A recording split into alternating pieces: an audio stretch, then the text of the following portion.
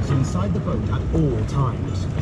Please keep arms and legs inside the boat at all times.